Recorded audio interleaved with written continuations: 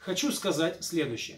Я задался вопросом, может ли быть изменено содержание решения Воронежской городской думы без принятия нового решения самой думы? Оказывается, может.